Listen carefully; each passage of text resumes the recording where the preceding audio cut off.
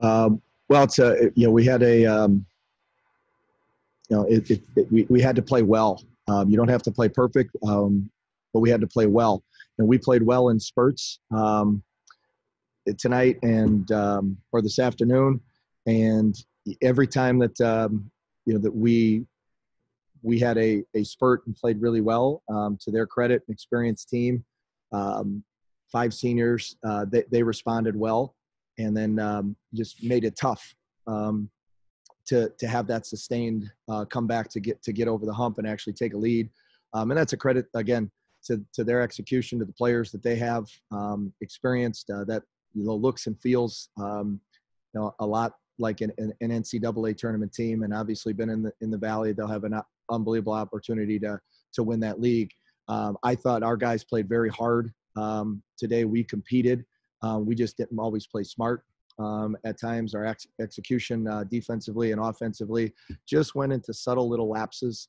And um, against a good team, that they make you pay for those subtle lapses.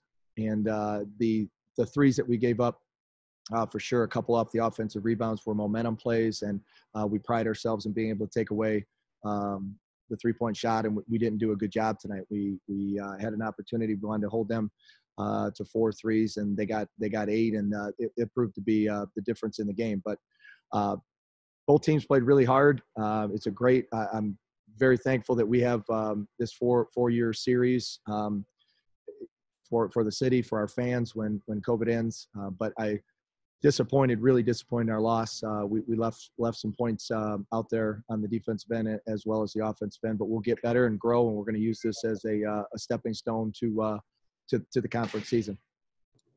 Earlier this morning, uh, news came out of the passing of former UIC head coach Jimmy Collins. As someone who grew up in the Chicagoland area, has been in this game, and in your brief time at UIC, just touch a little bit on, on, on Jimmy as a coach and as a person and your interactions that you've had, albeit small.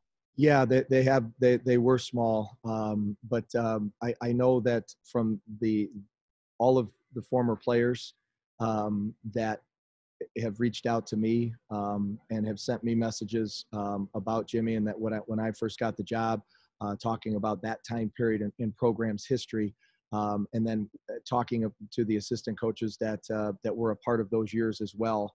Um, you know, it is a, a huge loss for the UIC community. Um, and a huge, huge loss uh, for the basketball community. And our, our, our thoughts and prayers, obviously, from all of our all the people within the UIC uh, at, at, large, and then within our basketball program, um, go out to him. I mean, he, he was a mentor, um, a life changer, um, a game changer, and somebody that worked uh, relentlessly for for the betterment of young people, which is what teaching and coaching is all about. So, um, you know, he's the uh, again the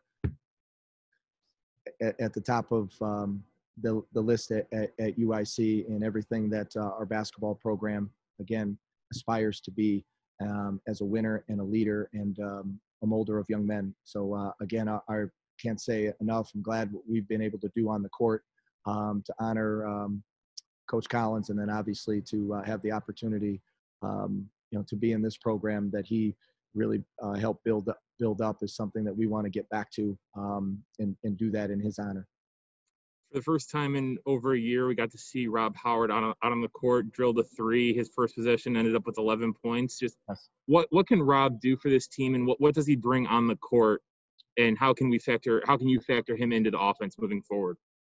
Well, I mean, it's uh, it was uh, he's amazing. I mean, Rob is a competitor.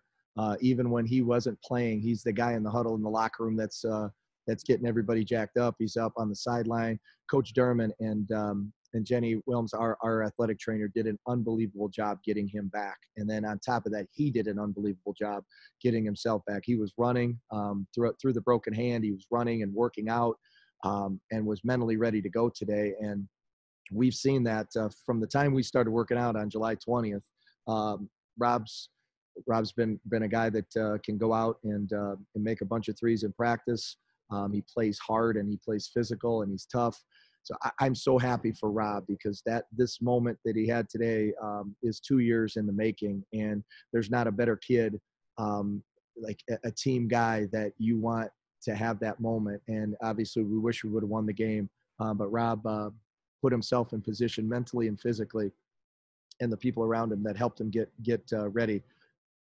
He, did it on the on the court today, and we're, we're looking forward to having him in the rotation, obviously, um, and then just giving a, a, different dynamic to our team. So we're we're evolving. We um, as a as a team, we we've had uh, basically Maurice Commander and Rob Howard have practiced together um, two times, and uh, the last two basically two days, and Rob's uh, on practice number three uh, as a as a group. So it's uh it, this is a team i'm really excited about. I love our group. Um, we've got some little areas that we have to clean up in practice. Our habits in practice have got to get better um, in certain areas and uh, we have a chance to get better. But rob is uh, he's a leader in practice. He wants to win um, and he's a competitor so really excited uh, for him. Final question. You talked about those little things in practice that you're looking to fix. As you as you close the book on non-conference play and turn your attention now to the start of horizon league action what's the message to this team as as you start uh, Horizon League play? That uh, the the little things we talk about discipline and toughness um, is going to be two hallmarks of our program, and um, those those things are there's instances of those two things that uh, that have to be corrected and um, in a diligent manner and in an intentional manner. And when we uh, combine um, the diligence, the toughness, and um, you know, the accountability uh, to the scouting report and to the execution uh, offensively, we'll um, we're, we're, gonna we're gonna do some good things, and we have a chance to be a good team. That that's that's the message. But you you can't have these uh, five and six uh, possession lapses or five to six minute sessions where things kind of go um, awry and that you can't pull them back together. So we'll correct those and, and learn from it. It's a group that's hungry and learning how to play together. It's this is the first week that we've had our, our top eight or nine guys be able to practice all together. So I'm excited, really excited about the group. I love our guys, and um, they're done with finals now. Really knocked that out. So really excited about uh, moving forward.